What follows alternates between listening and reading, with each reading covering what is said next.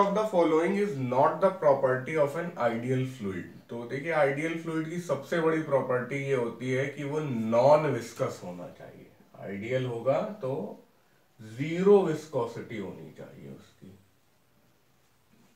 तो लेकिन इसमें यहाँ पे लिखा हुआ है कि वो फ्लूइड इज़ विस्कस तो यहाँ पे नॉट अ प्रॉपर्टी ढूंढना है। तो फोर्थ वाला आंसर हमारा हो जाएगा। बाकी आइडियल फ्लूड इरोटेशनल होता है। और फ्लूड फ्लो उसमें स्ट्रीमलाइन होता है fluid in ideal fluid incompressible होता है, ये सारी बातें सही हैं वन टू थ्री सही है फोर गलत है, इसलिए गलत ही हमें ढूंढना था। So the correct answer is four